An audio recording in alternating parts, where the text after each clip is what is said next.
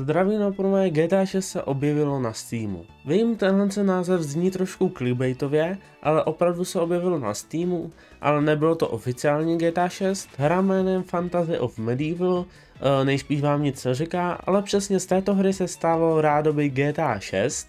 Všem říkám, že o této informaci bych se vůbec nedozvěděl, nebýt kanálu GTA Man, takže mu tam můžete hodit like. Když se na to podíváme, tak ta hra se v obchodě opravdu jmenuje Grand Theft Auto 6. Developer je Rockstar Games a vydavatel je také Rockstar Games a naposledy to bylo změněné 28. dubna 2023 a vydání je 10.